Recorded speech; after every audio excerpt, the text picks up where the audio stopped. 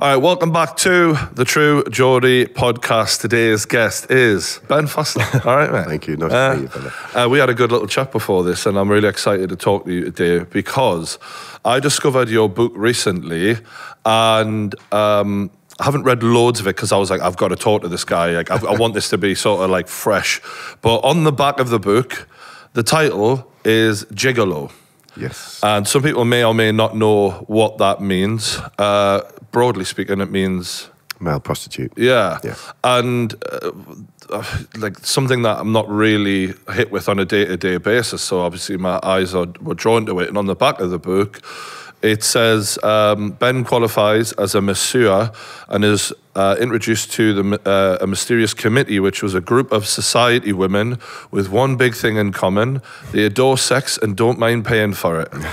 You were a care worker who was drawn into a world of private jets, sex clubs, um, state secrets, endless lines of cocaine, orgies in country houses with a who's who of celebrities, MPs, and the international super rich. Yes. That is Wow. me. And, like, and yet, you come across as such a normal bloke.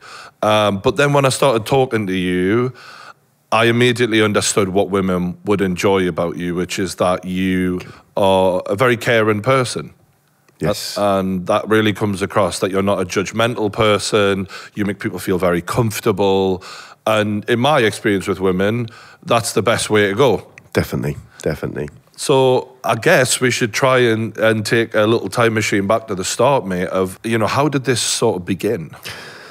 I started my career off on the fishing trawlers, which is completely far away, as far away as you can get from sports therapy and things like that at all. Uh-huh. And found a, a sports therapy course. I went on to that. And to cut all the grey bits out, I moved away. We moved to London. Uh, I started working at an exclusive spa retreat. This is where I met a lot of people, um, obviously the A-list celebrities and the TV personalities and things like that. And that was obviously legit and stuff. Um, then I worked also for, for a little bit of part-time for extra money in the gym. And while I was in the gym, I got approached by, let's say, uh, a part of the royal family, mentioning no names. Um, Was that female or male? That was a male. And he basically said, Do you do private treatments? You know, I'm not really keen on coming here and stuff like that. So basically, we arranged to meet. And uh, um, the first time I drove up there, it was this big stately home in the Cotswolds, of all places. While I was there, uh, the mother of this gentleman basically took an eye to me. And within five minutes, I was meeting the whole committee of ladies, as I like to call them. Um, and being provided around a room uh, with like pictures that are probably worth more than my my whole house is worth, you know, and things like that. So what was the first time someone suggested that this was more than a massage? Uh, the first time I kind of got roped into it, um, I was it was the mother of the person that I was seeing. She basically gave me a mobile phone, uh, and on this mobile phone was one number, my number, and the committee's numbers. So they'd text me at any time they wanted, and I would go and be whatever they wanted me to be on that occasion, whether it was a dinner, dance, or literally just sex. Um, I basically got invited to do a treatment for the mother. And while I was there, at the time I was driving the oldest bang you could ever wish for in your life. You know, I'm humble beginner. Less about the mother? No. Yeah, yeah. Sorry, I couldn't. no, no, no, please carry on. You can get away with that. I can't, Yeah. you no.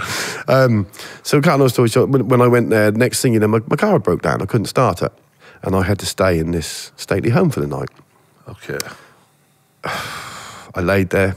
It was, I suppose about half past 11 at night. We'd, we'd had drinks and chats. She'd had her massage. Fantastic, beautiful figure, beautiful lady.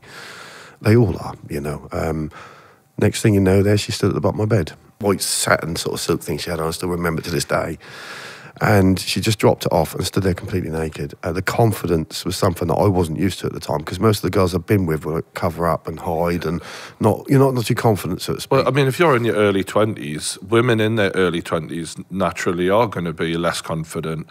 Um, and I'm assuming because she was in a, p- a position of authority, she's like, well, I don't really care if you judge me or not. You're here to, to be used, essentially. yes, yes. So, can you remember specifics and, and, and would you share a little bit of like, I don't know, how she was and, and that sort of stuff? Because it is, this is so unusual hear. Yes, yeah, definitely. I mean, uh, brown, brunette, brown eyes, lovely sort of tan skin. Uh, you know, the, the the olive sort of skin. Um, as far as the sexual side of things, basically, she implemented and started off by uh, oral.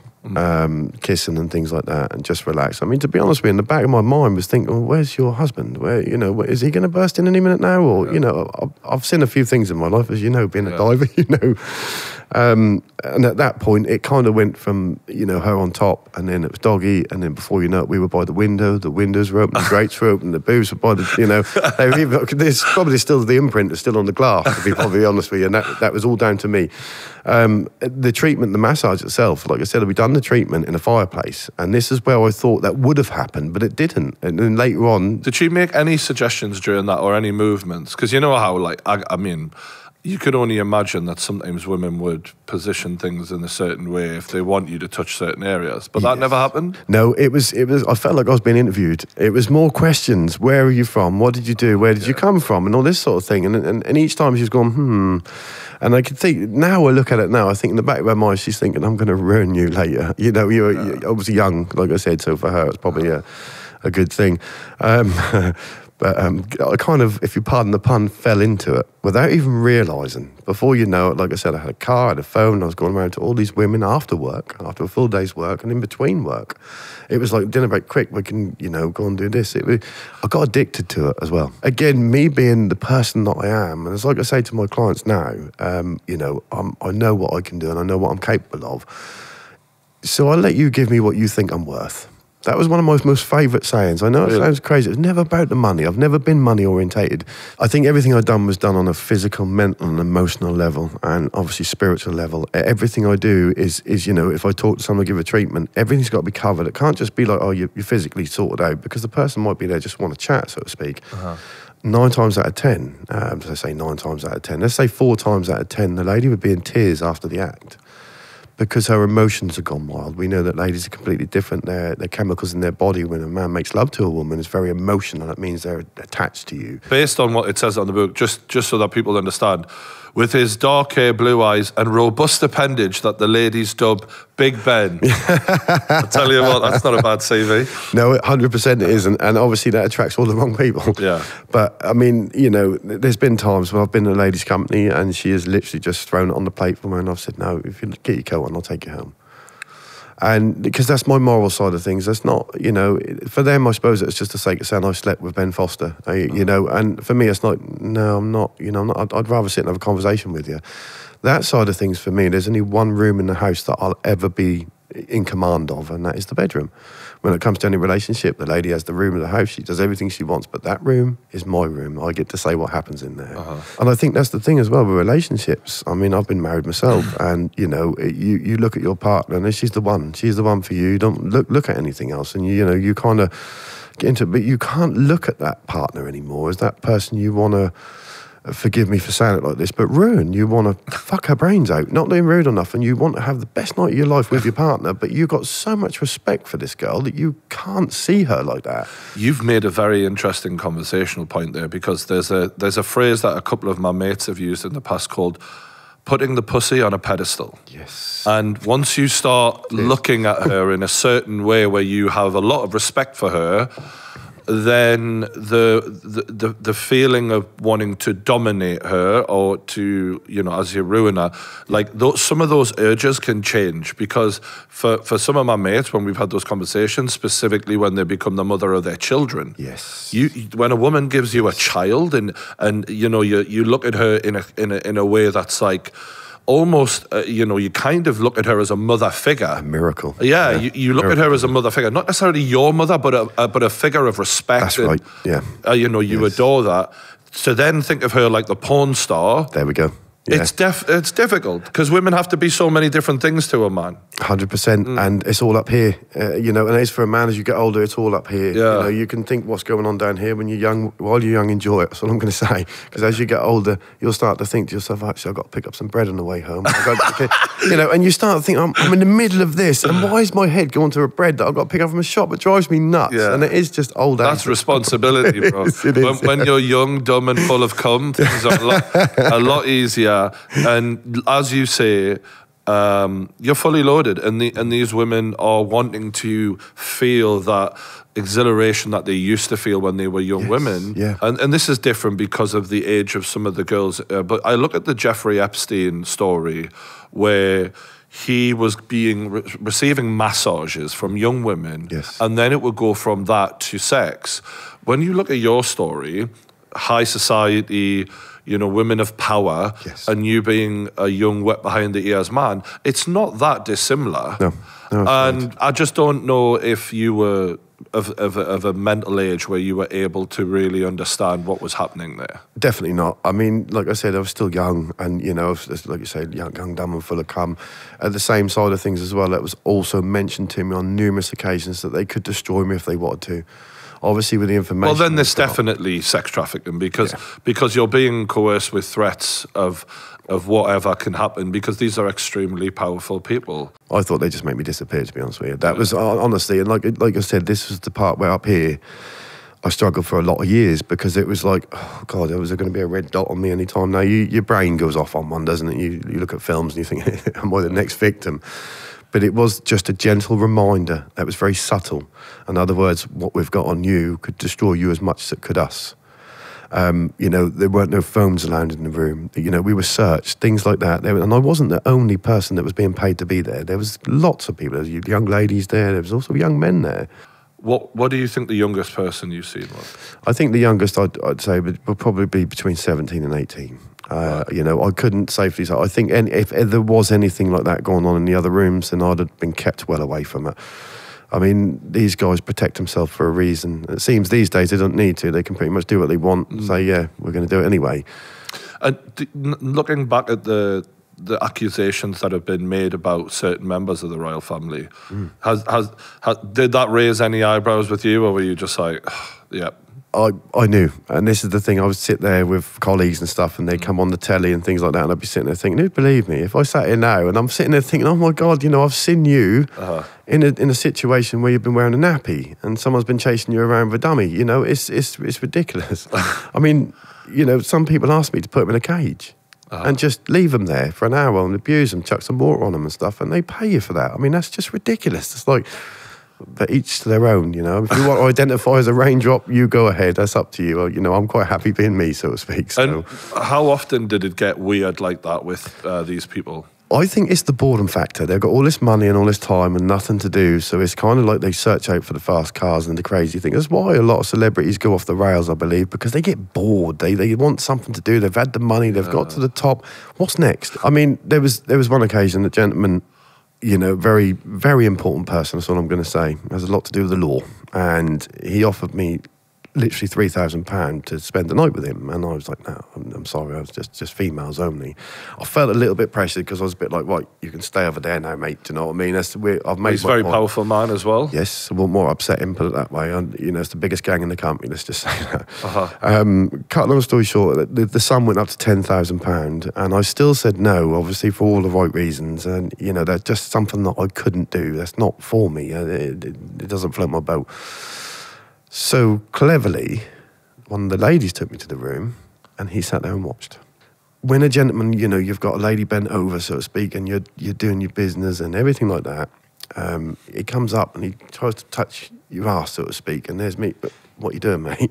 No, I'm not like that. You know, that was a big issue a lot because, uh, let's be honest, there's more men out there that would go for the services than there is women. I mean, that's the hardest thing. A lot of women have said to me in the past, I can't understand why someone would pay for it. So I've said to them, you come out for a night with me and you, after the night, you tell me whether I'm worth it or not. And a little bit's for my own ego, you know, it is uh, holding my hands up every time. Yeah, completely different to what I used to.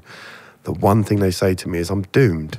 And I say, why's that? And they say, because I'm never going to find someone that's done what you've just done to me.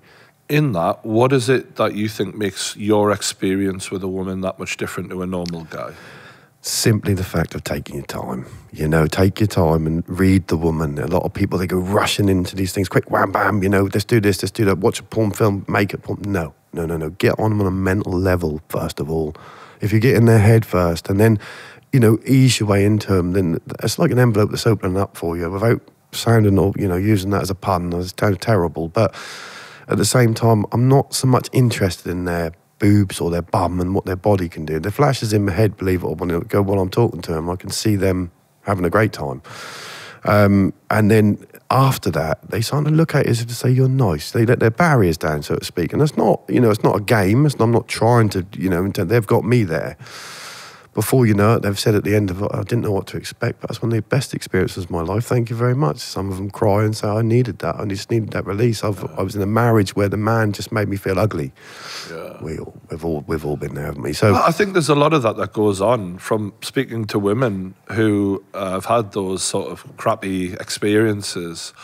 Um, I mean, I mentioned this, uh, but I think being raised by a, a, mother. I was I was very close with my mother. Yes. Give me a, a, big help when it comes to speaking to women one on one because all I was used to was speaking to a woman one on one my whole life. You know, yes. and I think that there's a definite lot of truth in what you're saying in that as men, mm. we are just programmed so differently yes. to women because yeah. we are physical, visceral creatures that, you know, at our base level are kind of protectors and shaggers. Yes. It's, it's no one's fault that we're programmed differently. And it is just about like as a man fight we're having to fight urges yes. to give a woman that level of experience because we do just want to rip clothes off and look at the boobs.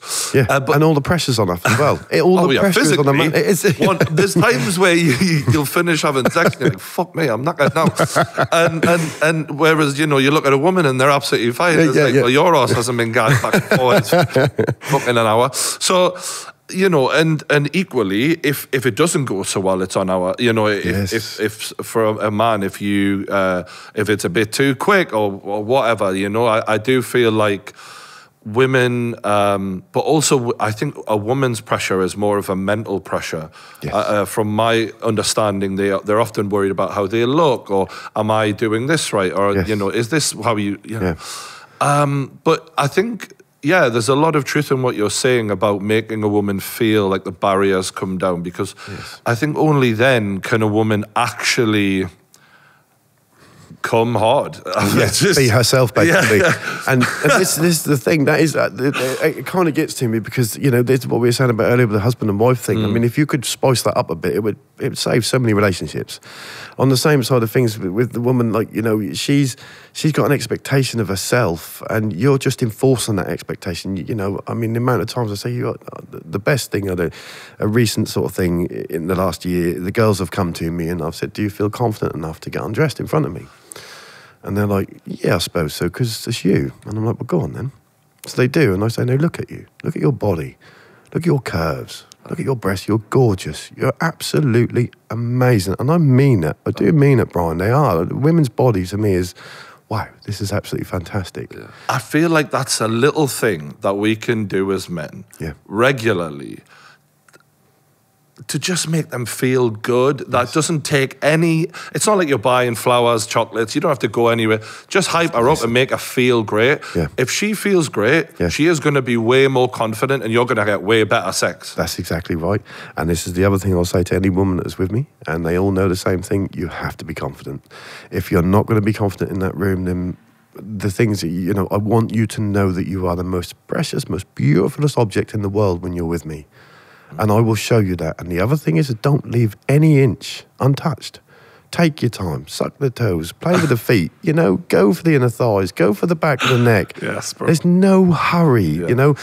People panicking, you know, a lot of friends ask me, how do you do it? And I say, do you know the difference between me and you? And they go, what? I go, you're trying to get in her knickers. I'm not. Uh. I'm trying to get in her mind. Because for me, that's where the attraction is. After so much sex and being able to just, does anyone fancy a bit of fun? At any time I want, it's a bit like, well, now I want something more. You know, I, I want something that's a girl that's going to last with me, look me in the eye and say, yes, I'm with you, I understand. Like I said, four hours later, everyone's very happy. But again, And you know, and, and the other I'm not is, sure about the four hours, bro. That's a bit. That's a long one for me. Like, okay, I think I think honestly, it's been about six and a half hours. I think it's the longest I've, I've gone. there has been a 24 hour things, but that's been on and off, and you know, in between.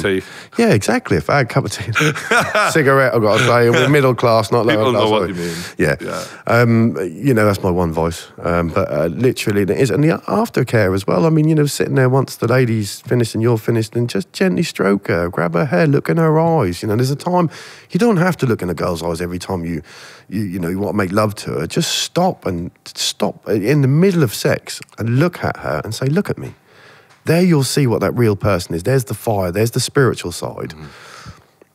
Each stroke is is completely different to like someone. You know, it's it's like actually I mean this. I do care enough about you, and I do want you to enjoy yourself, and I want you to feel so amazing after this. Again, all the pressure's off for me. Bro, yeah. This is a really beneficial podcast for young lads out there, especially because, in not not saying I'm an expert, but you know, in my, uh, you know, I've been fortunate that You women have know. wanted to spend Yeah. time with me, and I've, I've, and I'm sure, you know, I've let some women down in the past, and I've been pissed and all of this sort of stuff. But ultimately, the best experiences are when you make them feel like they matter for sure. And that's when a woman develops an attachment to you. Yes. And when she's really willing to go beyond any boundary, any kink, that once they feel comfortable and they trust you and they're like, this man is never going to make Trust. me feel ugly, you know, it's, you're leveling up. And another, uh, like you've kind of already put it, uh, uh, uh, it's like, you know, you're talking about reviews almost like it's You want a woman to look at you like I'd go back there for a meal. Yes, exactly. And when the word get around, yeah. You don't want to, uh, you know, serve a, a, a bad performance out, and and and um, and I think that focusing on what they're getting out of the experience is the key. Because as a man, Yeah. I personally think it's easy for us to be pleased. It is. It's It- so it- easy. It can be. Yeah. it's a bit. You know, I'm, I'm kind of not being really accepting to the rule. Obviously, because of what I do, I have to make them happy. But, but, but even even for me as a normal guy who doesn't do this as, as a living and is just wanting to please a woman, I just think focusing on her for a good amount of time uh, at the beginning, at the very and, and just listen. yeah, Yeah. and and go go through those um, those motions with her to to focus uh, because for me, I know people will make silly jokes about this because whenever you talk about sex in public, it's a bit of a oh how funny. But Yeah. let's be mature here. Focus on making the woman happy to start with. In my opinion, is Yeah. always a good route. Definitely, definitely. Then after that, it's just a, everything's just a bonus. Oh yeah, Everything. after that, I'm doing a victory lap, and it's it's you know what I'm No, saying? exactly. Yeah, I'm, it's a tap in, basically. Yeah, it is, You it know, is. because as men, It is. uh, uh, you know, in and out very fast. Usually, he'll do the trick at any point. the hardest thing as well, I think, for a lot of women to admit is they like to be.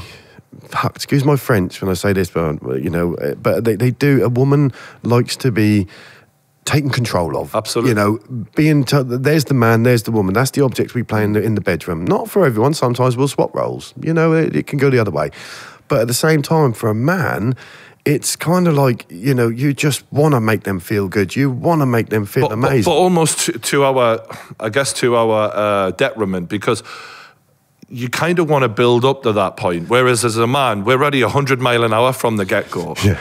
So I, I definitely think that this is healthy that younger younger men can hear that of Mm. Yeah. build up to it, lads. Like, Yeah. as you say, don't leave any inch unturned. No, no, no, no. Focus all over. Don't rush. yeah. And and that is the thing. You take your time. You just don't put no pressure on yourself. You know, at the end of the day, you're only human. You've got the same as everyone else has got. We're all different sizes, different colours, and God knows what. But it, and it doesn't mean about the size or anything like that. I mean, I'm lucky, but at the same time, it, it doesn't mean nothing about that at all. One touch could do it. You know, in the right environment, the right words, whisper in the ear.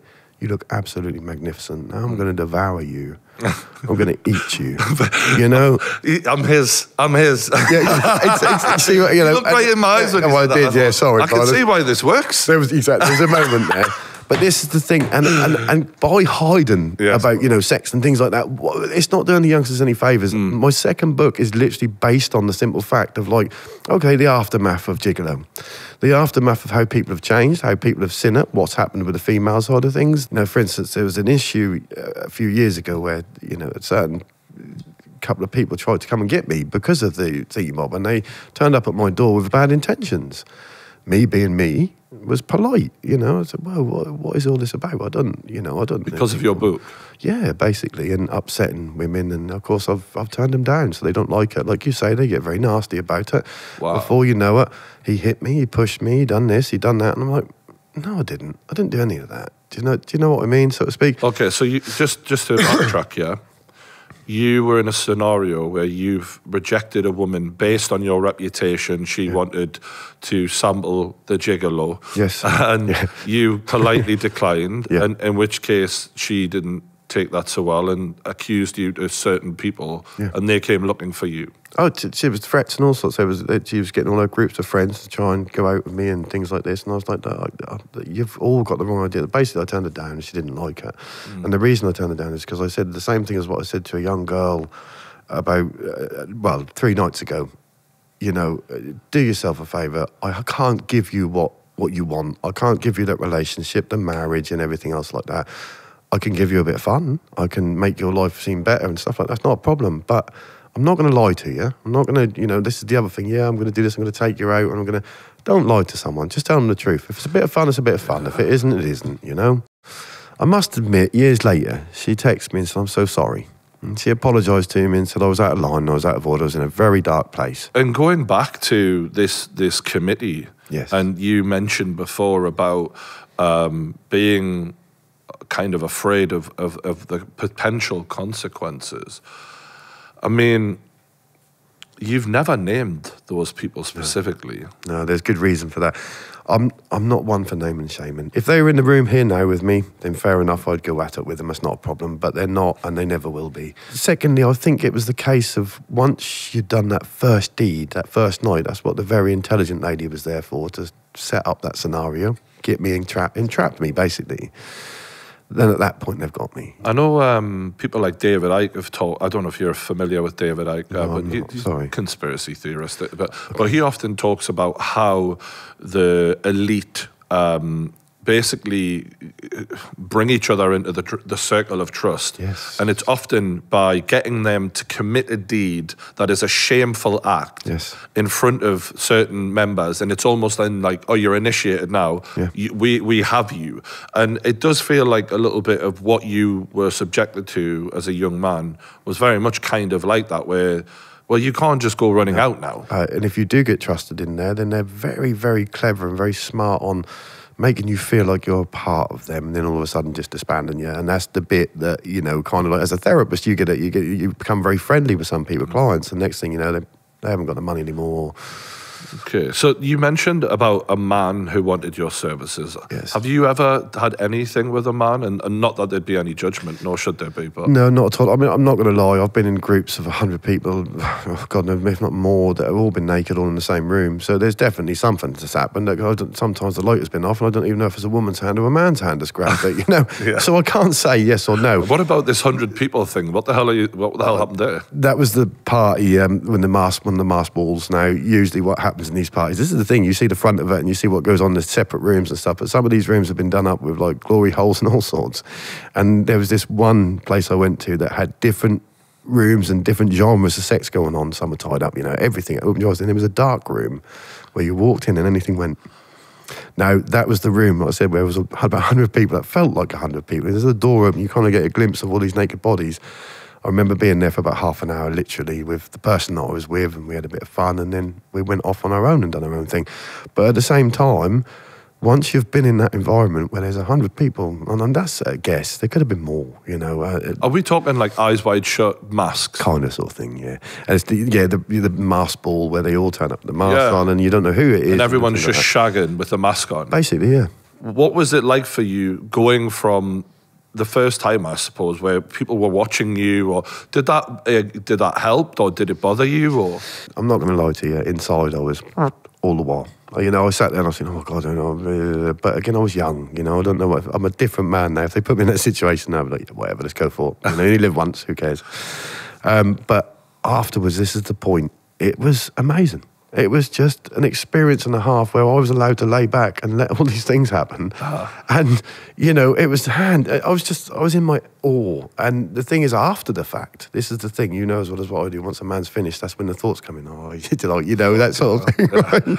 So after the fact, I was a bit like, oh my God, I'm disgusting. So I went to the shower. I showered, I stood in the shower for about 20 minutes, scrubbing and scrubbing and scrubbing. I found that a lot of people have got their own motives, their own intentions. They're there for something, not for anything else. Now, the one thing I learned with the other side, the Olympians, as I call them, the committee, is leverage. You, with leverage, you don't have to raise a finger. You don't have to raise a fist. You don't have to phone the police. If you've got leverage on someone, they're in your pocket for the rest of it. And that is the one thing that they taught me more than anything. And I've put it to the test and it does work. You're right. If you get leverage on someone and whisper in their ear, behave yourself, they soon step back. What kind of leverage did you notice these rich people had on other people, and how did they exercise that power? The little things you'd hear about some of the MPs, like you know, you'd have the Labour over there, the Conservative over there, and the rest of them doing their own bits, and you could you can tell who they're. And the bankers, the wolf pack, as I used to call them, they were a completely different breed. You know, completely different breed. How did they all differ? Well, this is the thing. The, the difference was all about the money. Did you ever hear them talking about like serious politics and that? Yeah, a couple of times. There was a couple of things, especially when it was. Um, I mean, at the time we had a lot going on in Iraq and stuff like that, and that scared me because again they were talking about things that were happening, like you know, without going too much into details about military operations that were going on, and I was a bit like. I don't really want to know this. Ignorance is bliss. So, for you to get to a scenario where you're seeing someone who's very powerful dressed as a baby, um, and you're throwing water on them or whatever was going on, you must have been quite involved with a lot of the guys as well as the as the wives. There was a group of gentlemen sitting in the back, and I know for a fact one of them was an MP, and there was also a cabinet minister there. And you know, jolly good, yes, give, give her a good, jolly good go of seeing to it. Save me fucking doing it tonight. Like take the dogs for a walk. And I'm sitting there and I'm thinking, okay, great. So I'm going to give, you know, and you can take the dogs for a walk. Fantastic. You know, that's what, you can imagine what's going through my head at the time. Can't? I'm like, okay, she's naked on the couch. You're all sitting there having a conversation about what's going on in the world or God knows what. But I soon learned to switch off. Well, you could have went to the newspapers if you wanted. I could have done. I could have gone at any time. And, you know, there was a few publishers uh, that come out that were obviously in these mix of people that said, I'll publish your book tomorrow if you write it. And I said, well, actually, I do write books. I've been writing since I was a kid. I love writing. This is fantastic. I've got fantasy novels, fictional ones. I mean, I tried to stay away from my own life, but that's all they cared about. They wanted the nitty gritty. And then it wasn't until years later when I started to think, actually, I've got nothing. You know, I got, I'm working my ass off. My kids have got nothing. You know, I, I want something in this life to say that I was here at this time. And after what I've witnessed, I think it's only fair for people to know the truth. And the truth is, they don't care. We're just a number. Knowing like how um, amazing this story is mm-hmm. to people listening at home, and knowing that you're also written other books, there will be people who are skeptical of the story. You haven't named of people. Course. There will be people who thinks, well, he was a writer. Is he embellishing in his own story? Um, what do you see to that? I mean, you know, you never believe everything you hear, and you never believe it unless you see it with my own eyes. I wouldn't believe it. But I mean, the book is embellished. I'm not going to lie to you. I mean, it was wrote for a film's sake or a series in a sense, you uh-huh. know. And like I said, I've got a spade a spade. I've got nothing to hide. You said the book is embellished. Yeah, it is. It is. I think every book is obviously where the ghostwriter involved. So they tried to throw the scent of where I was, what I was doing. So it allowed them to play with the truth a little bit. Yeah. For me, it was as long as you get the main core of the story and what happened in those parties, I don't care what you write. For me, I just want people to see what went on behind these closed doors. Uh, so, what level of drug use did you witness? Cocaine was a massive thing. It was mainly cocaine. Huge amounts, or oh yeah, like a pile. Let's just say Really? a pile on the table. Yeah, but that isn't just the one pile, and it is. I just hope that you know that they read the core of the story and know in their heart of hearts, every rule and law that these guys make for us is broken by themselves. especially after what you went through, because I assume there were periods where you didn't feel great about yourself. You may have feel used, and and I'm, I mean, I'm assuming there will be people watching now who may have a, a problem with you know your line of work mm. because I know. I mean, I don't know how it differs from men to women. I, I, I guess you may have spoken to some women, but you know, as a male prostitute, how did that impact you mentally, and how did that make you feel? you become a loner. You don't really have many friends because of what you're doing. You know, you you know the phone's ringing and off you go. You can't explain that. Um, you detach yourself from society in a sense, and you live in your own little bubble. Um, the other times I come home, and some of the things I didn't enjoy. I didn't enjoy doing it at all. I'd come home, like I said, I'd be in the shower, and I would be washing. And my friends at the time, I'm a bit of a clean freak. Everything, you know, clean, clean, Right. clean. Was that as, a, as a mental thing as much as physical? mental thing, yeah. And and for me, it was it was like three times. I have to do it in the shower three times. Wow. Everything wash, wash, wash, wash. Make sure everything's clean. Kind of like. OCD vibes. can't smell. I, you know, I'm, I'm getting naked with these people. I have to smell pristine. Every inch of me has to smell good. What were the things that made you particularly uh, I guess, feel like you had to scrub yourself down that much? Like, were there certain things? Yeah, uh, you know, when you've got kids in the family, at the time of nieces and nephews, um, I'd kiss them on the cheek and stuff, you know, and I wouldn't let them of them come and kiss me, or you know, uh, I'd wash my hands constantly before I touched them or picked them up because I'd been doing things obviously sexual wise and was covered in God knows what, you know. So Really? So it wasn't necessarily the act, it was more what you were then going to do after the act. Or was it the act as well? the the act was sometimes. I mean, there was one occasion where I got wrapped up in cling film and covered in baby oil, and my appendage was the only thing that was sticking out.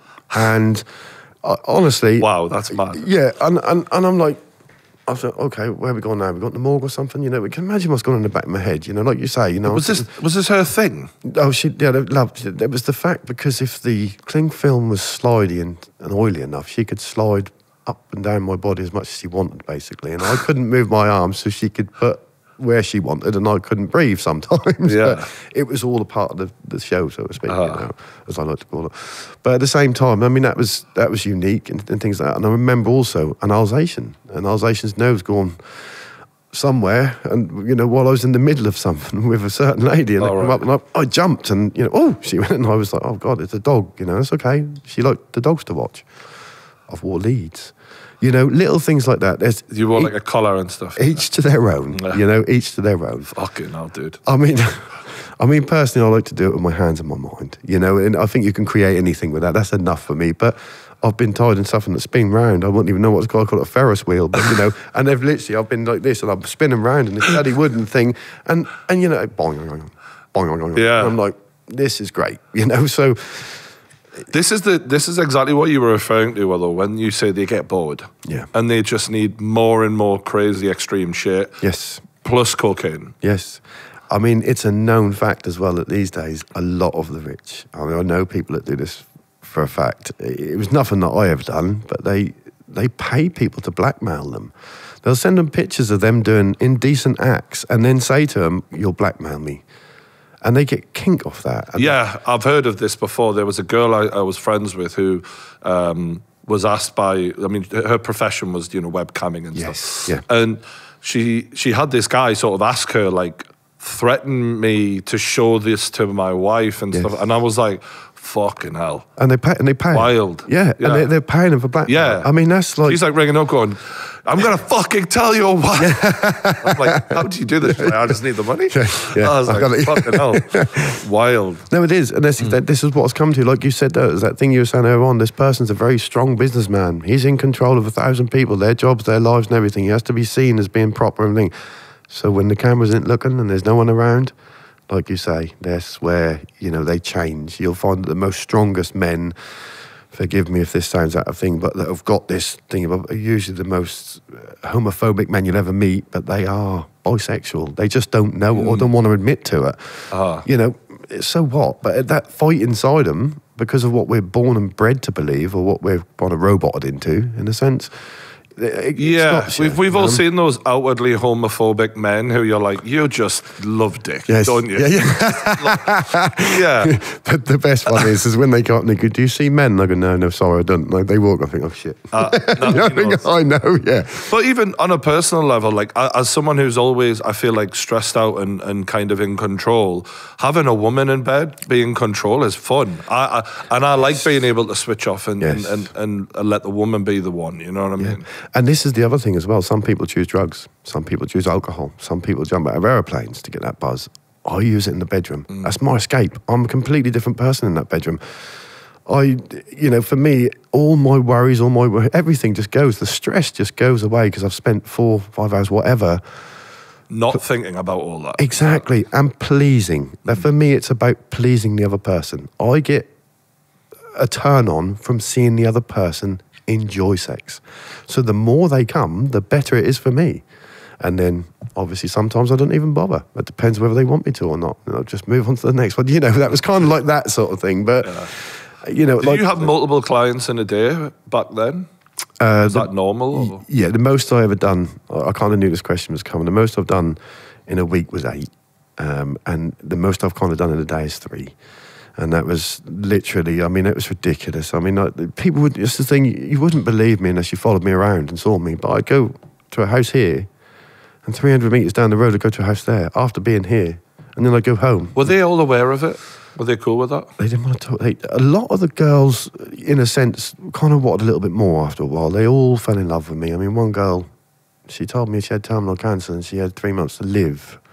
She's still alive now, just to get my attention. And I, being me, took the time with her, put my effort into her. I give her, I'm not, and That's brutal. That I, oh, there's so, there's still. I'm, I feel like I'm still unpacking this whole experience with you. From the bits that I read in the book, it seemed to say that you had a partner while this was going on. Yeah, no, I, I met, she turned out to be my wife in the end. We did get married in the end. We had three kids together and, you know, we got on really well. She's a great girl and she does amazing body kids. I mean, I couldn't ask for a better ex-wife, i got to be honest. Was this sort of cool, or was this something that was unknown? Yeah, no, it, it was unknown. When I first met her, I was doing it at the time. Uh-huh. Uh, and it was about six months after that we were together when I stopped. And I basically give up all of that for her. Oh. And the books and everything like. So they were asking me for the book then, and I said, "No, I'm not. I'm not going to write it. I'm not going to write it." I, I kind of felt these people were my friends. Naive, maybe I don't know, but uh, you know. Um, at the same time, it got to a very. She come home early one night, and one of the clients had just left, and I think she knew at that point.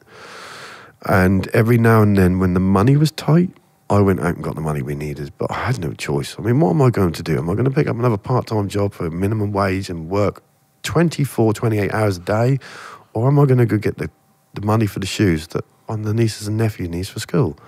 Because nobody else could afford it. So let's, you know, and that was mainly my intention at the time. Walking into a shop with a pound in my pocket was not an enjoyable experience. So that it's always been in my life, but it's never been as the fact for my kinky pleasure. It was just a, a means to an end, a means to survive, basically.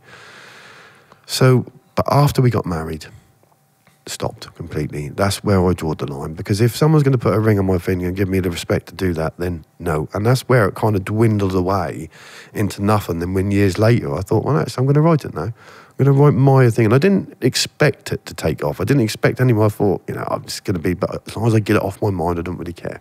Was there any other experiences that were mind blowing and wild in these crazy rich parties? I, I, think also as well, like, I don't want uh, what's the word, categorise anyone or put them in a stipulate or anything, if that's the right word. Uh, but it's a sense of the mummy and daddy's boys. And, the, and, you know, like when they talk about their mummy and daddy, they're like 40 years old and they go, mummy, daddy. And they've got those issues. And you kind of see it in their sexual acts, if you know what I mean. Like I said, when they're wearing nappies or they're being told they're a naughty boy and they got to go to their room and drink their milk and read their bedtime story. That, That, so that isn't as sexual in in a sense. It's more like mental, isn't it? It is, but to them, it's sexual. They, they're getting turned on by this. They're getting turned on by the fact that somebody's uh, kind of like their mother figure, if you know what I mean, They're telling them what to do, or their father figure, even. Ah. Um, there's so many. Uh, like I said, I, could list a line off of, you know, I said I've worn a lead before, I've been dressed up in all the gear, and, Ah. you know, all little things like that. BDSM style stuff. Yeah, BDSM was a massive thing. Uh, Really? Yeah, massive thing for these guys. I mean, it was, it was the case of more anything than being tied down and tied up in certain areas. You know, when you know what you're doing with a piece of rope, you can pretty much tie anyone up in a situation where you, it's an easy access. Should we just say that? Yeah. Yeah. Um, but mine was a bit more uh, it, because of the massage side of things. It was uh, that's what they all craved. It was the sensual side of the massage and getting to know them, the spiritual side, feeling completely. I mean, as we know, five percent or fifteen percent of the body starts processing, producing endorphins when you get a massage that are close to sexual activity. You start to get horny. That's the reason why massage is so close to sex. Yeah, because that, that, that's seen as a very, I don't know. I've had massages before where I've felt those sort of beginnings of a, of a, a erection. Yes. and I'm like, fuck Yeah. me, I need to Yeah. start thinking about something else here.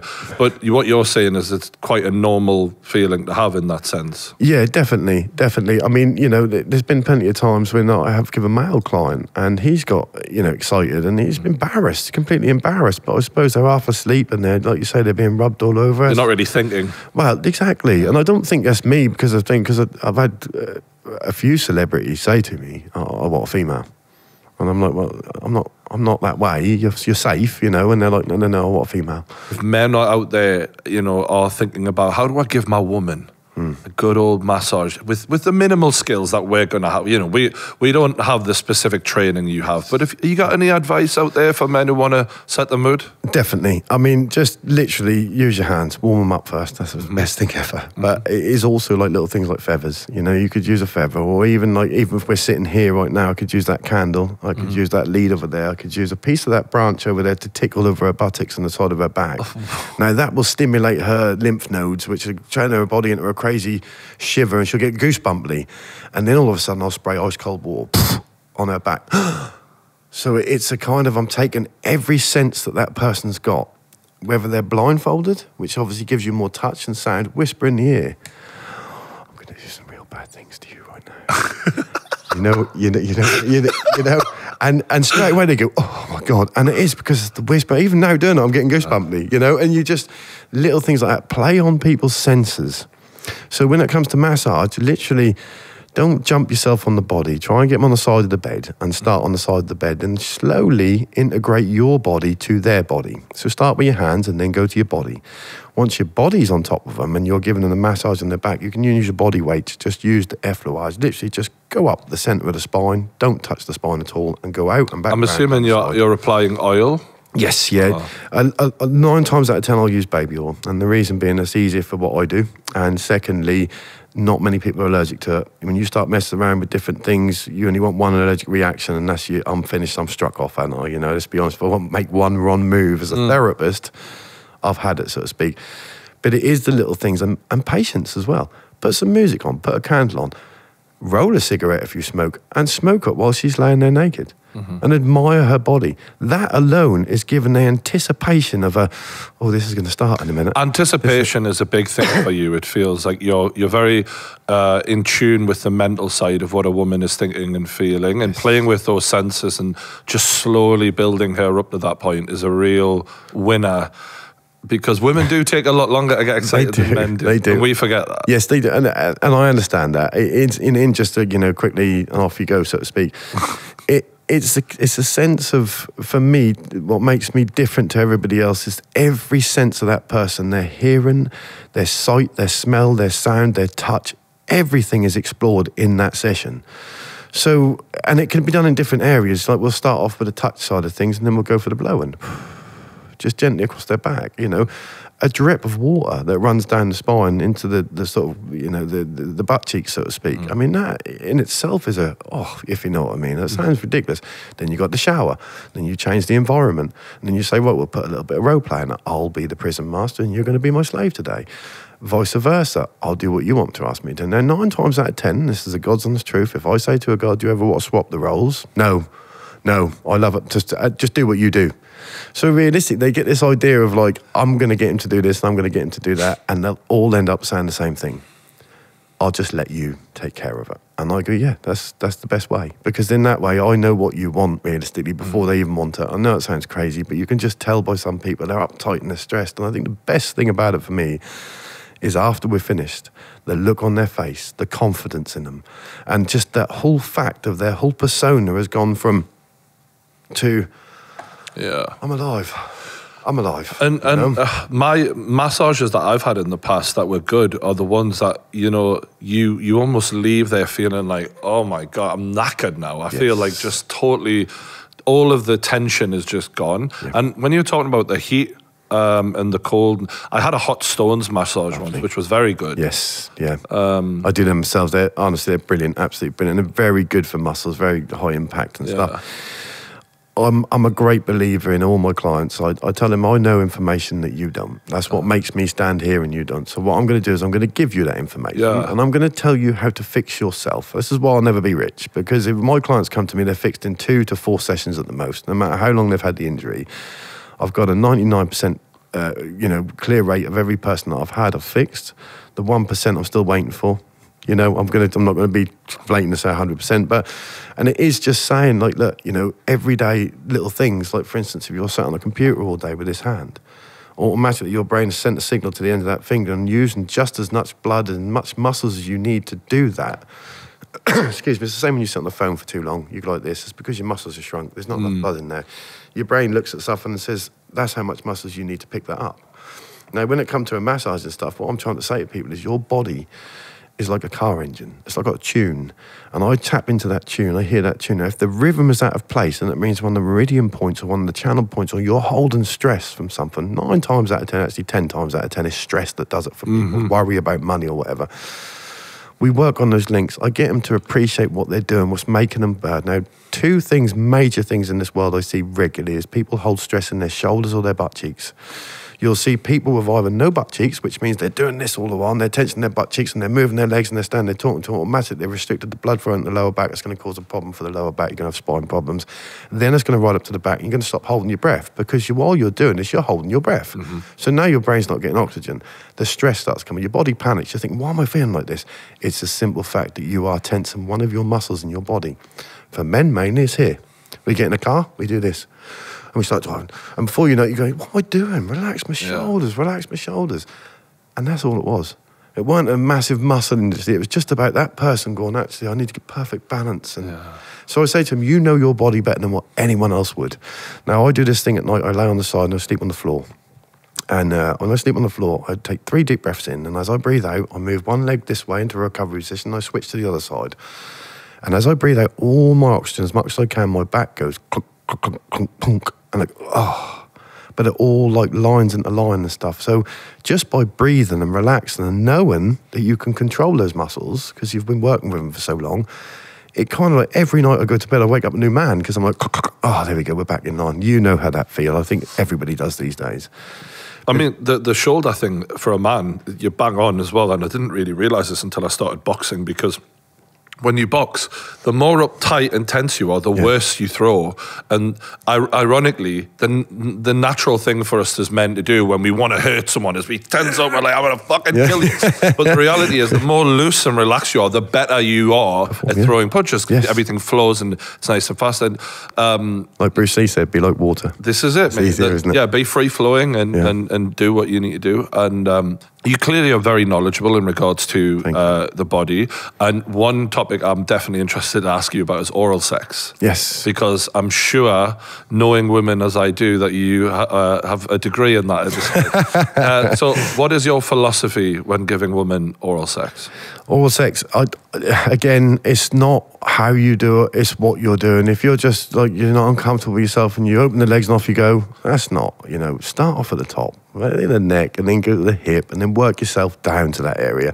But while you're there, everyone's different. Everybody's different. I mean, you know, there's some women like a rough, a, a bit tough on the tongue, and the other women like it just gently. You've got to try and figure out which one it is. Now, touch wood, every single one of them has completed. but I do hear occasions of my friends saying to me, "Oh, I was there for ages, didn't do none. I said, well, change it. Yeah. What do you mean? I said, change it. Just stop for a little while. You know, if you're going down the same, same as everything in life, if you're going down a path and you're just running into a brick wall, you don't keep doing it, you stop, don't you? It's the same thing as oral sex, realistically. Don't keep running that brick wall. Take your time. Women vary a lot, for, in my experience, from. Um, and that is the most fascinating thing about the vagina, like, isn't it? Oh, it's, like, oh. it's it's a little magical thing that because sometimes you're uh, that you feel like you've got it completed with a woman, and then you'll meet a new woman, and it's completely, different. different. It is, yeah. Yeah. Everyone's individual, but again, you mix it up. Mm. You know, I, one of the clients, she used to meet me on a lunchtime, and I'd lay on the end of my bed with my head on the end of the bed. She'd pull her knickers to one side and sit on my face, and I'd do what I'd done, and she'd leave. That was it. That was just the power thing of that. I didn't have to do anything else apart from just lay there, so to speak. that was fantastic because she was gorgeous, but. But at the same time, this was a lawyer, you uh. know, and I'm thinking, imagine if I ever see you in court. How awkward is this? That makes be? sense, though. Yeah, it does. It Yeah, does. for a lawyer, a female lawyer to be that way, like, yeah, But again, change it. You know, a, a lot of people, like a woman, if you asked I mean, a lot of girls I know haven't had an orgasm through intercourse. That is just oral. And I'm like, well, change it around a bit. There's a spot. You've got to find the spot, so to speak. Uh, also, like I said, get them to sit on top of you. Get them to. Do, how would you like me to do this? Do you want to be bent over while I'm doing it, or do you want to be sitting on my face? Do you want to be? Do you want to tie me up and then, you know, take full control? Because that's another power thing for people, isn't it? Um, and you just mix it up, but you, kind of with all sex and stuff, you just got to just take your time and be you and explore what you want to explore, but also let your partner know. That's the thing with me. One good thing about my book is they all know that I'm into some kinky stuff. I like doing some stuff. So they all already ad- admitted actually this is going to be something special. Now that's the other downside to it. I've now got to live up to that expectation. And you know as well as what I do. It depends on when you wake up in the morning, how you feel for the day. It varies, bro. You know, and also you know. for the woman, like there's some women out there who probably say about me that I'm shit in bed, and I'm like, I was shit with you. Doesn't mean I'm shit with all women, but like. I go, yeah, I am. I You know. uh, I think some women forget that you know some days you're feeling better, and some women bring out the best in you, and some women just you know lay there and aren't aren't that interactive. And I usually find the people that say you're shit in bed are the ones that are worse themselves. uh, you know what I mean? They are. The ones that say you want to point the finger, the worst ones are the lot. I had a similar experience though, is because I, I basically got a, a, a girl um, leaked my DMs once, and they were the worst possible DMs when the, the ones you send when you're drunk as fuck. and you're like, um, but ironically, a lot of men were like slagging me off for that, and I'm like, oh, meanwhile, bro, Yeah. a lot of women are reading them and Yeah, DMing me, going, I'm up for a bit of whatever you want to do because you're fucking wild. You're not boring. You're not, yeah, Yeah, exactly. But not being boring Exactly, is yeah. is a blessing for a start. It is, it is, and and that's the thing, you know. it- You know, you, you you look at some people and they sit in a room for an hour and not say a word, and you're like, what's the bloody point, you know? It's a- uh, that's the one thing with me. I'll always just uh, whoever comes. If you turned up at my house tomorrow, there'll be a bed for you to stay, and you'd be well looked after. That's how we are as a family, you know. And for me, I think people know that when they walk in, so automatically they're relaxed. They, you know, they don't have no expectations, and I think half the time they just chuck themselves in the bed and go do your worst. And I'm like, okay, are you sure about that?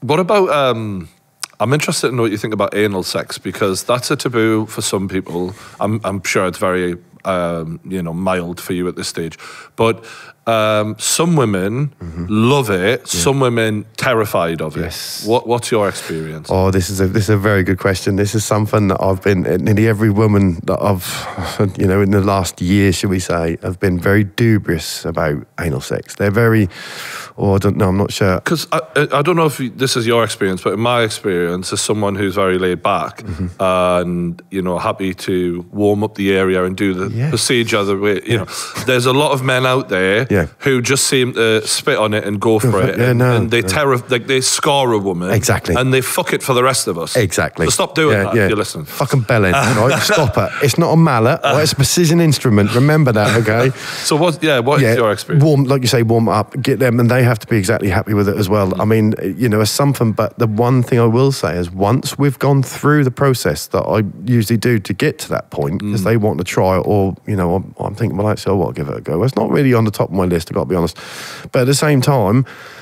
Every single one of them had an orgasm for it, and they had the best orgasm in their lives. Now, when it comes to oral sex, you've got a finger use it. You know what I mean? There's the bum, you know, and, and it does. It, it doesn't have to be rough or anything like that, but it will transform their sex. It does seem to to another level. It does. You can does. incorporate that. Yes, exactly. And you know, when they orgasm and come to it, they're like, "Oh my god!" And then they can't get enough of it. It's, "Oh, what I do? It. Should we do it?" And I'm like, you Right, created okay, a monster. Yeah, basically. Uh. and you know, again, I'm, I'm only human. There's times when things happen when it comes sex. It can be quite messy, but you've got to take that out of your head. You've got to get it out of your head and think, see the person, you know, forget all that. It's natural. don't, don't expect to you know go out in the rain and not get wet as well. But but also, come on, we're all grown ups here. You know what I mean? And I'm I'm sure that when people are listening and we're giggling away as we're saying this, it, it is a bit of fun. But we're all fucking grown ups. Yeah. This is what Yeah, people do behind closed doors, It and is. we all walk around pretending like this doesn't happen Yeah. because we're civilized and whatever. But we're all fucking animals. As society's gone on through the years, that animal instinct has been switched off and forgotten about. People like us, we tap into it because we can't forget about it. We're made to keep having that. Mm. And I, that's where I say to people, in a sense, that animal instinct is good in the right environment. Don't go out smashing people's brains in. Take a woman mm. and show her the best time of her life with that animal instinct. I growl, I scream, you know, I do.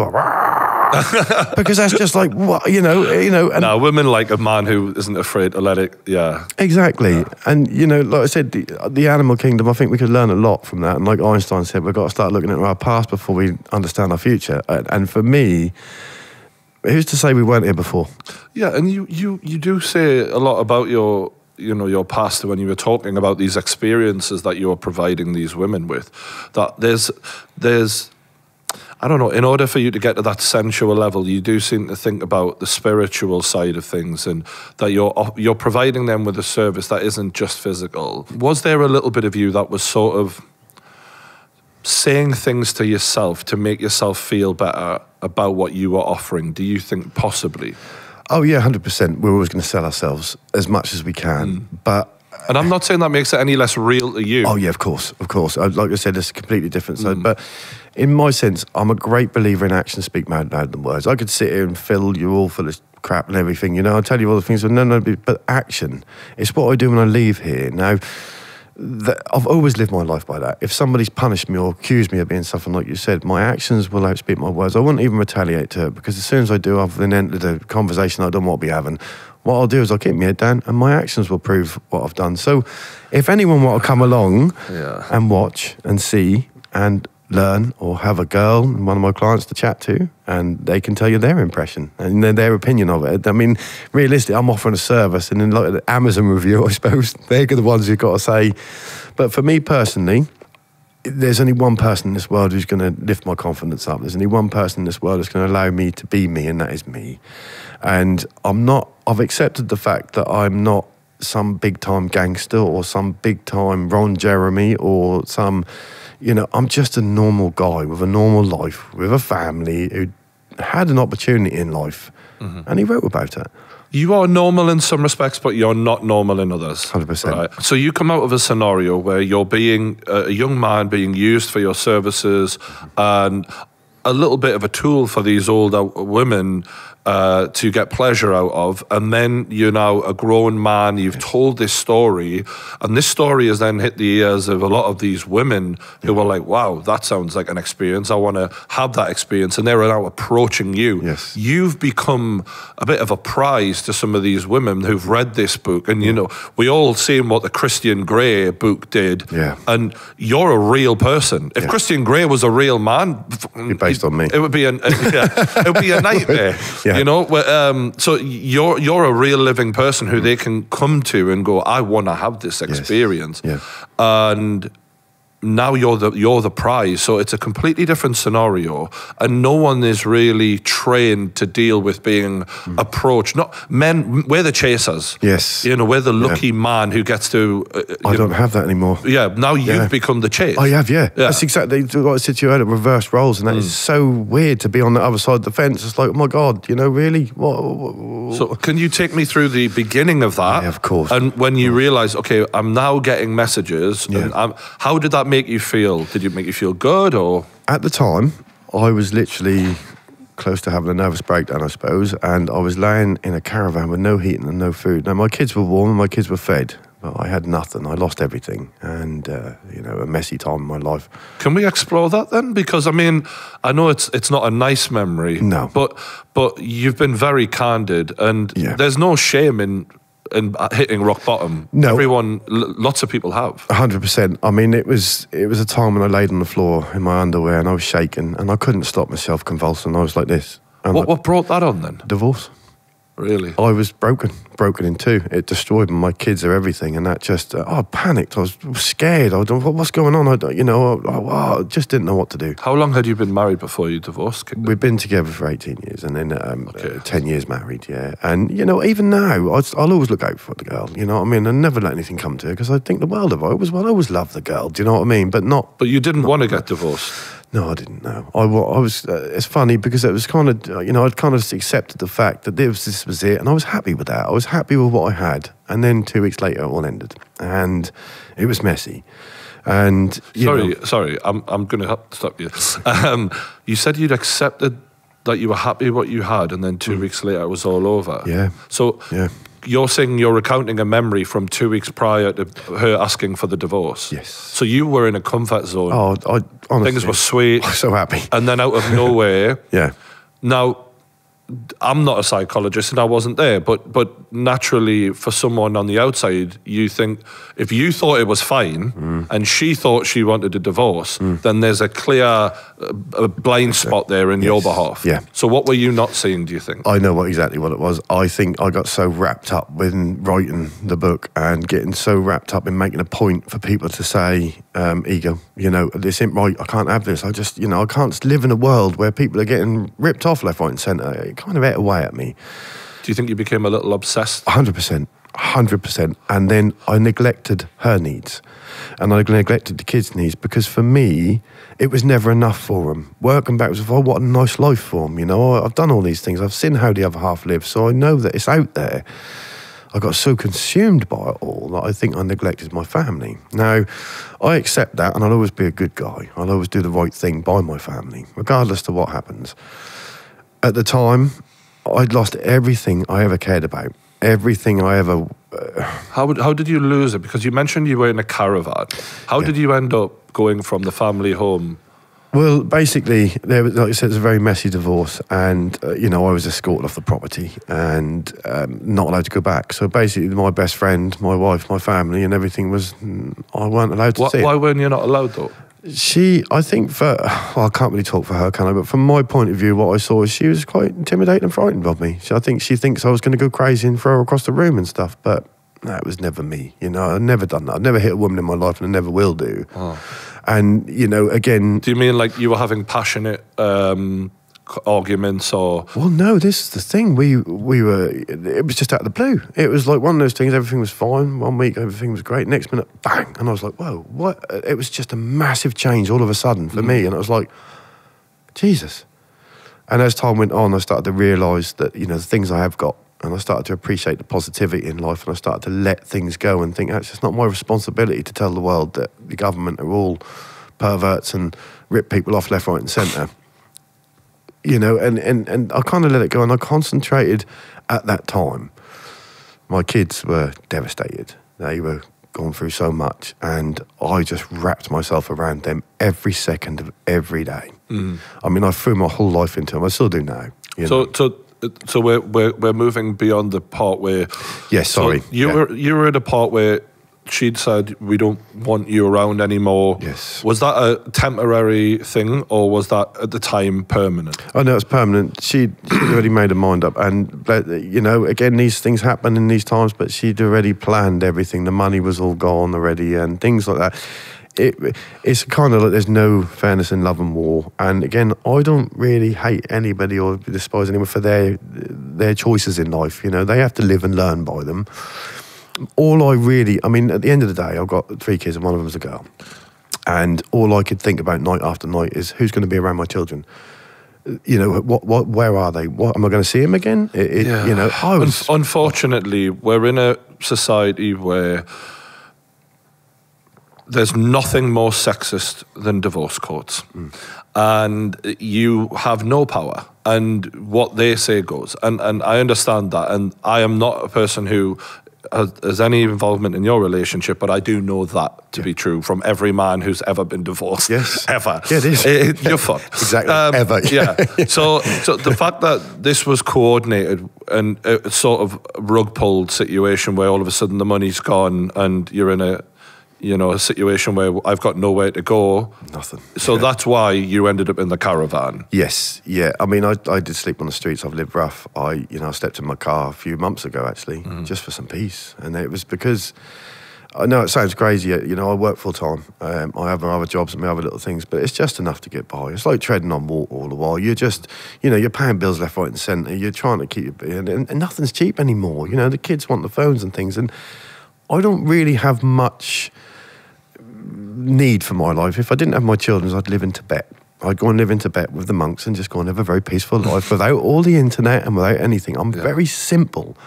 But with my kids, it stops me from doing anything. And I, I, I accept that. I mean, I've been asked four times in my life to go and be a playboy for someone and get paid millions for it in LA, California, Scotland, and Norwich, believe it or four places. Norwich. I know, just on the outside of Norwich. I was like, what? Wait, really? You're just round the corner. Every time the question was asked, so would you? And this was the deal. One of them would give me £60,000. I'd move him in a house. I'd marry them, but I'd have to be theirs all the while. I've got children. Well, you can see them once every two weeks. Or, well, they can't come. Sorry. If my children ain't coming, then I ain't. So I've turned down a lot of opportunities for the fact of my kids. Mm-hmm. And I'm not ashamed to say it. But at that time when the book came out, to answer your question, I laid there with nothing, thinking, Jesus, I don't know how I'm going to get through this. Literally shaking. I could not stop myself from shaking. And then I stood up and I thought, you ain't got time to be feeling sorry or bad for yourself at the moment. You've got three little children that need your strength more than anything. So I put all my worries to one side. Then I went for the book. I thought, no, there's nothing stopping me now. I haven't got a family to protect, or I'm not married anymore to worry about the consequences. So out come the book. After the book, I mean, that was amazing. There was ladies left, right, and centre. They were chucking money at me. They were asking me to go to places, holidays, all over the place, and I was no. Was this through social media they were reaching Yes, out? social media, all social media. Okay. Yeah, uh, most of it was Facebook. To be honest with you, nearly all of my clients come on Facebook. What kind of age range are we talking? I'm talking from literally 22 to actually 63. Mm. You know, and and it is it, a vast range, all the different ages. But in a sense, the youngest would have been 22. So did you start dating any of these women?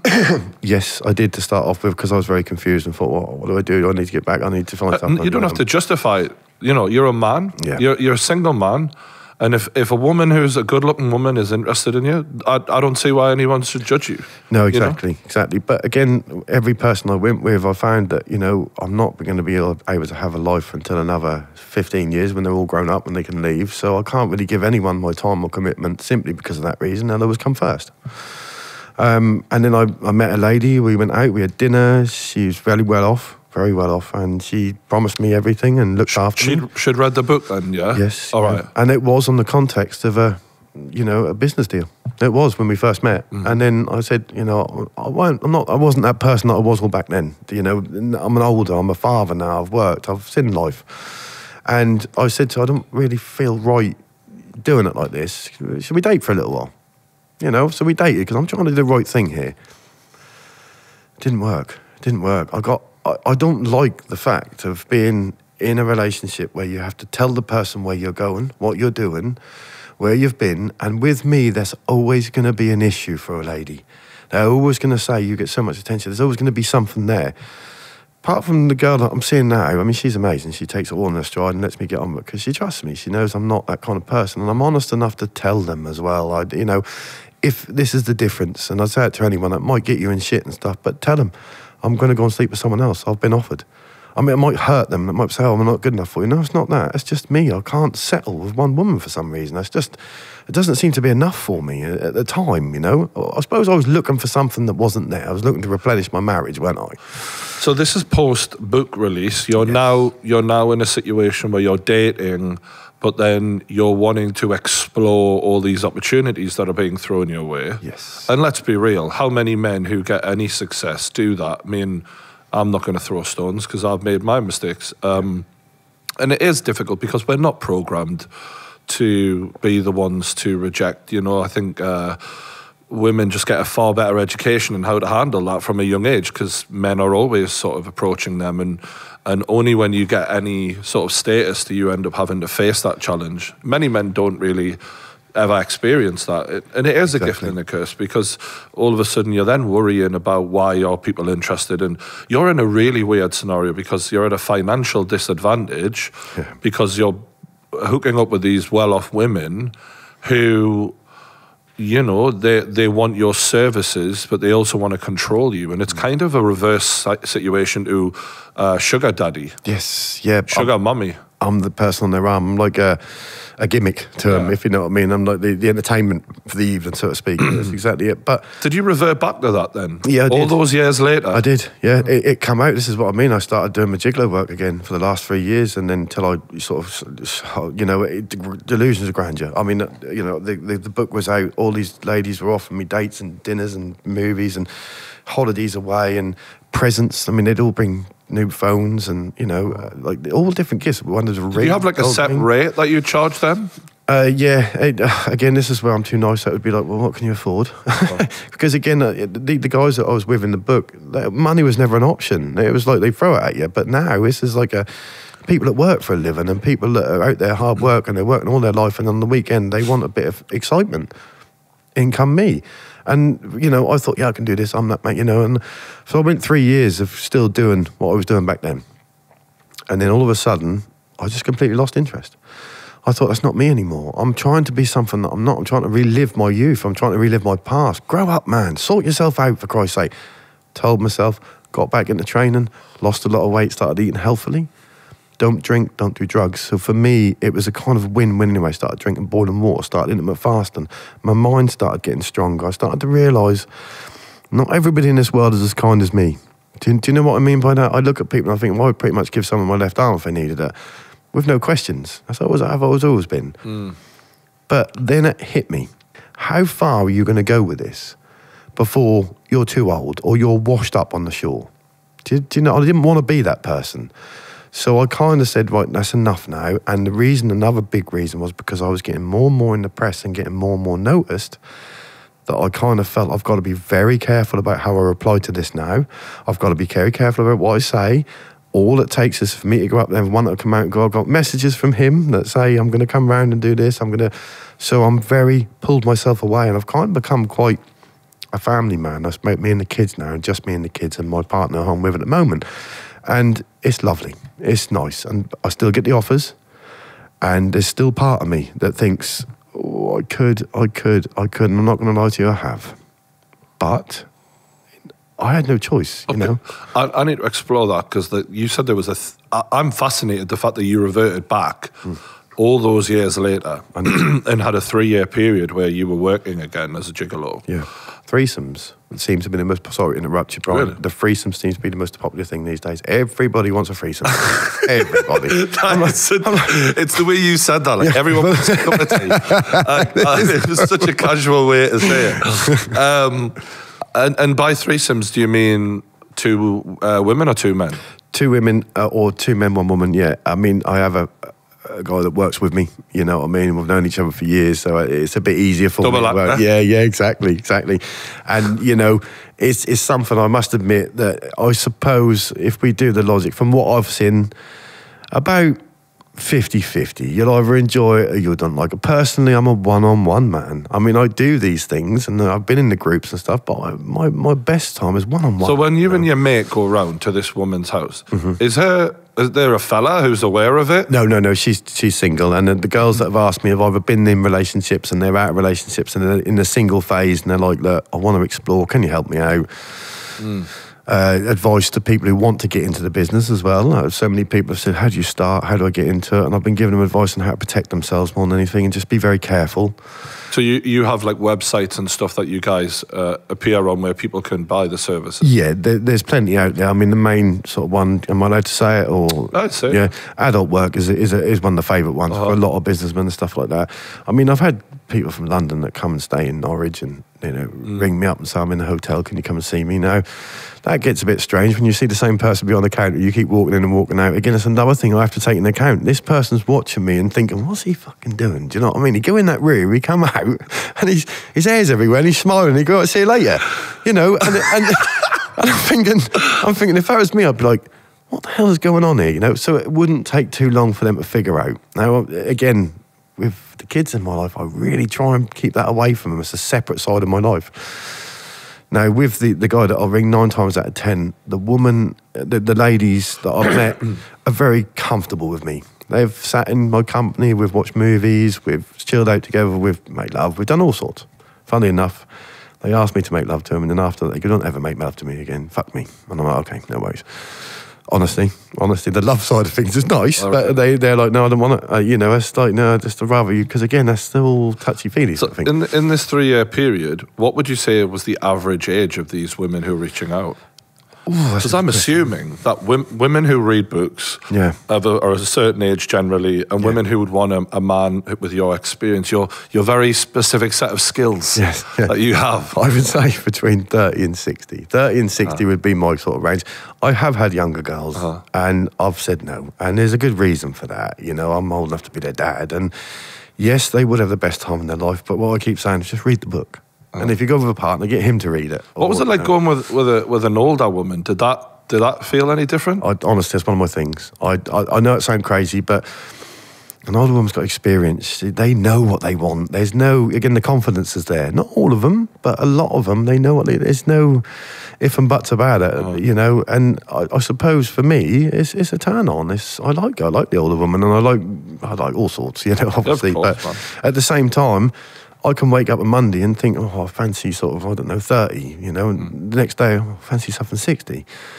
And you know, people think, "How can you do it?" But you don't. No one's seeing what I see. But it's also, I guess, for you, a sexual appetite com- becomes a lot like a, a, normal appetite is days where you just feel like something different. And for that three-year period, I mean, how how often were you working? In COVID, honestly, book number two will have you all sitting there with your mouth open because that was the most busiest time of my life. I have never been so busy. I have never had so many messages. Oh, God. I, I, am not joking. I was starting at six in the morning and getting home at three the next morning and getting up at six again and doing that for four or five days and then crashing. Right. People around me would say, slow down. Uh. The most in one day was three. And it was, it would sometimes, like eight clients in a week would be the, at this stage would be my limit. And I got, I got to be honest, like I said, I got up to about a couple of years ago, I got to a point where I was like, I can't keep doing this. This mm. is getting like, I mean, you know, some nights I'd really enjoy it, Brian. I'd be like, yeah, I'm really up for this. And I'd go from one and then another, and, you know, and then some of them would get turned on by the fact. Some of them would ask me, where have you been? What have you been doing? A lot of them would say, tell me, hey, what you've been doing this week. They wanted to hear how I was fucking other women. It turned them on, you know? Some of them had, um, a little side of buying them that wanted to try. And I said, okay, what we'll do is I'll talk to you about it while we're doing that. So I'm going to tell you to imagine that the person you're thinking of is in front of you right now, and I'm going to do what I'm going to do. And we get in the set, and honestly, love it. But then they say to me, I couldn't do it for real. Yeah. In up here, that's yeah. a good good game, but I couldn't do it for real. In a sense, for me, I'm just me. I'm never going to be anything different. So when I walk into any situation, like here, anywhere else, I'm just going to be me. I'm not going to lie. I'm not going to be out and say anything. The only way you could ever appreciate it is literally by talking to one of my clients. I should imagine. I I think you're being very truthful um, because you're just so specific, and the way you describe sex, yes. it's it's from a man who knows what he's talking about. Um, and yeah, I mean, what a life you've had, bro. I mean, you just, I, I really felt the pain when you were talking about that divorce situation and, and, yeah. and just putting your children at the forefront of your mind through that. And I think, unfortunately, as, as, as nice as it is to know that you've had so many fun times, I really do feel for uh, you and and uh, for for having to go through that scenario because a lot of men feel really powerless. Uh, in those situations. But I, am glad that you managed to push on through that because it takes a hell of a lot of strength, you yeah. know. And there's there's many men there's a reason why male suicide is so high, and I'd guarantee, I'd stake my life on it, that divorce and suicide are directly linked yeah. in men, especially. Hundred percent. Because when you take that access away to their children, and when you when you rip the the the uh, you know the the life's work from them, the amount of money that they've earned, and you just leave them with pennies, and you leave them without their children and everything that they've been building. Yeah no wonder these men are out here killing themselves, and yet no one fucking talks about the divorce uh, exactly. law, laws. Exactly. It's a disgrace. Well, this is why I'm so cautious talking to you. And mm. you know, I've got some really strong views on that, and and I don't because it could just cause me problems, I suppose. But at the same time, it was unfair. I was dragged through the shit. I was mm. named and shamed. I, my actions had to do, and people slowly started to see actually he's not that person he's been mm. made out to be. But it's so funny how people will just believe what they want to believe because it's the known, known thing. And yet, all the people that I grew up with and known that love me, I, you know, I have a, a, nickname where I come from called the Guardian Angel mm. because I used to look after people and make sure they get home at night. Mm. And realistically, everybody that knows me knows that I've helped them in one way or another. Everyone I've touched in my life, I've done something for. Yeah. So I had a lot of people come up and go, "That's wrong. He's not like that at all. You know, he's not that person." We all need a reason to do things. I just wish. I think the one thing I think in all couples is take away the hate Take away the revenge. Tell the truth. Be honest. Say that I'm not happy. This is what's going on in my life at the moment. That would stop all the confusion. But more than anything, put the children first. They're the ones that are in the middle of it all, are going to suffer more than anything. So for me, I mean, I've spent a lot of time with Indians and gurus. I've spent a lot of time with influential people, as you know. So in my own mind, I'm quite strong enough to say I've got to change this attitude. And slowly but surely, I realised that I'm the luckiest man alive because of my kids. That's all I need. I don't care about anything else. As long as they're okay, I'm good. It's hard to be a good man. It's not easy. No, it's not. But it it is difficult, and you mentioned how you'd have those lapses where women would come chasing again, and mm. and you know you you'd find yourself ugh, giving into temptation. Did you find that you beat yourself up a little bit when those things would happen? Yeah, definitely. Because of the people that are in my life, I think they deserve a lot more. And I got to be honest, they're good, you know. And then, you know, but they they accept me. That's who I am. I can't help that. I'm not going to lie. I'm not going to say, oh, I'm, I'm not going to cheat on you.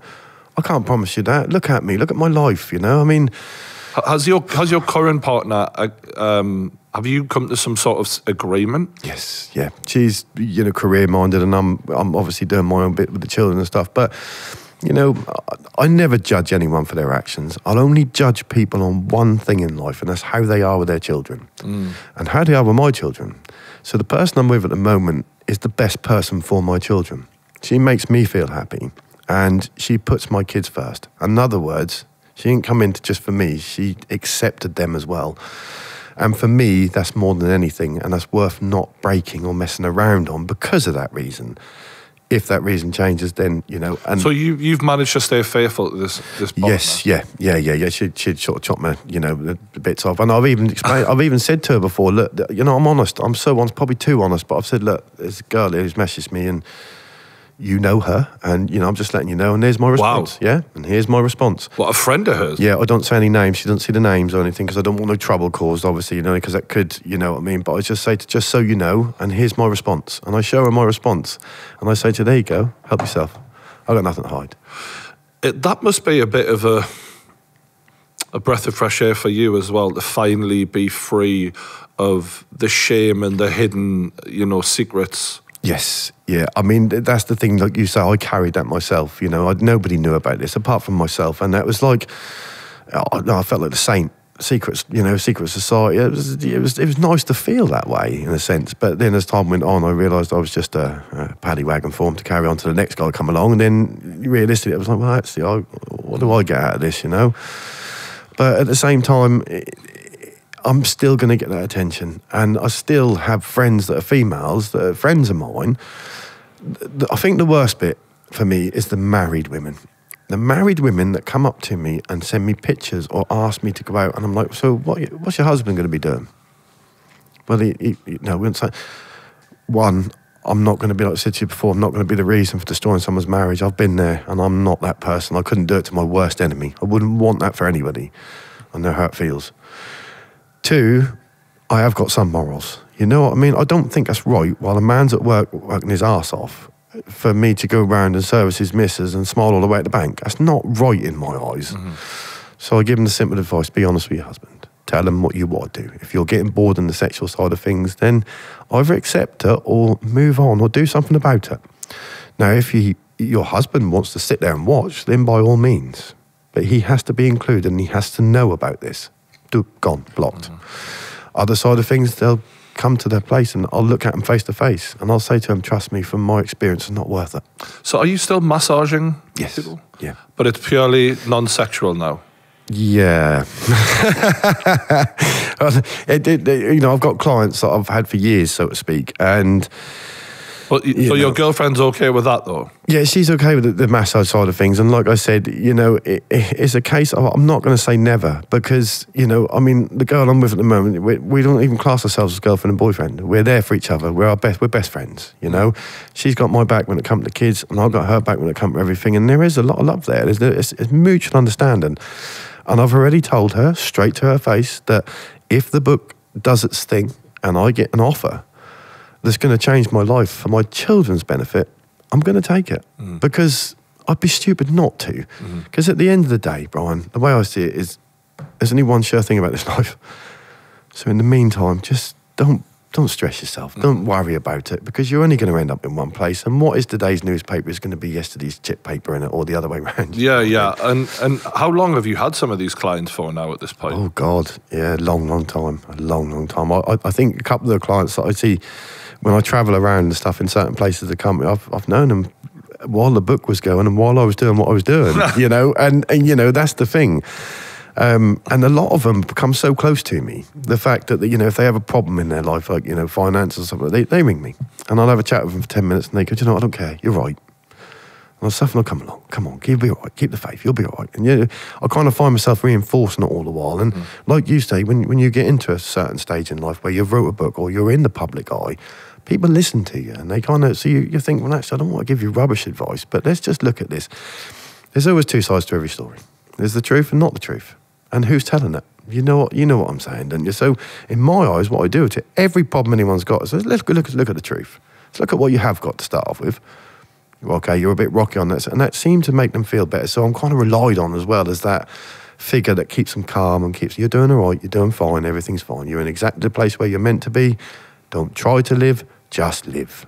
That's the secret of it, isn't it? So for me, even this today is like, well, didn't expect it, but that's great. It's a bit, I've met a really nice, really nice people. You guys are awesome, tell you. Oh, thank you so much. And um, I think we'll we'll we'll we'll end that there. But um, thanks so much for coming, mate. No, thank you. I really appreciate the opportunity massively.